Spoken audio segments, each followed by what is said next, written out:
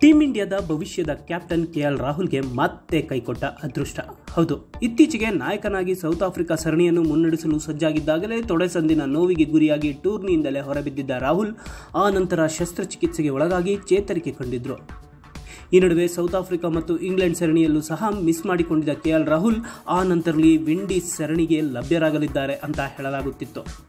ಆದರೆ ವಿಂಡೀಸ್ ಸರಣಿಗೆ ಇನ್ನು ಕೆಲವು ದಿನಗಳು ಇರುವಾಗಲೇ ಕೊರೋನಾ ಪಾಸಿಟಿವ್ಗೆ ತುತ್ತಾಗಿದ್ದರಿಂದಾಗಿ ವಿಂಡೀಸ್ ವಿರುದ್ಧದ ಏಕದಿನ ಸರಣಿಯನ್ನು ಮಿಸ್ ಮಾಡಿಕೊಂಡಿದ್ದ ಕೆಎಲ್ ರಾಹುಲ್ ಟಿ ಟ್ವೆಂಟಿ ಸರಣಿಗೆ ಲಭ್ಯರಾಗಲಿದ್ದಾರೆ ಅಂತ ಹೇಳಲಾಗುತ್ತಿತ್ತು.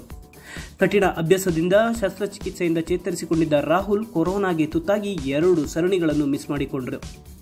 ಆದರೆ ಇದೀಗ ಮತ್ತೆ ಲಕ್ಕೈ ಕೊಟ್ಟಿದ್ದು ವಿಂಡೀಸ್ ವಿರುದ್ಧದ ಟಿ ಟ್ವೆಂಟಿ ಸರಣಿಗೂ ಸಹ ಕೆಎಲ್ ರಾಹುಲ್ ಆಡೋದು ಅನುಮಾನ ಅನ್ನೋ ಹಾಗೆ ಆಗಿದೆ.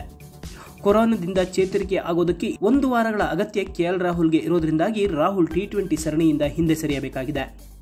ಇನ್ನು ಕೆಎಲ್ ರಾಹುಲ್ ಈ ರೀತಿ ಸರಣಿಯನ್ನು ಮಿಸ್ ಮಾಡಿಕೊಳ್ಳುತ್ತಿರುವುದು ಇದೇ ಮೊದಲಲ್ಲ. ಹಲವು ಬಾರಿ ರಾಹುಲ್ ತಮ್ಮ ಗಾಯದ ಸಮಸ್ಯೆಯಿಂದಾಗಿ ಹಲವು ಪ್ರತಿಷ್ಠಿತ ಟೂರ್ನಿಗಳಿಂದ ತಂಡದಿಂದ ಹೊರಗುಳಿಯಬೇಕಾದ ಸನ್ನಿವೇಶ ಎದುರಾಗಿದೆ. ಗಾಯದ ಸಮಸ್ಯೆಯಿಂದ ಪದೇ ಪದೇ ಚಾನ್ಸ್ ಮಿಸ್ ಮಾಡಿಕೊಳ್ಳುತ್ತಿರುವ ಕನ್ನಡಿಗ ರಾಹುಲ್ ಮತ್ತೆ ಕಂಬ್ಯಾಕ್ ಮಾಡೋದು ಯಾವಾಗ ಅನ್ನೋ ಪ್ರಶ್ನೆಯನ್ನ ಇದೀಗ ಅಭಿಮಾನಿಗಳು ಹಾಕುತ್ತಿದ್ದಾರೆ.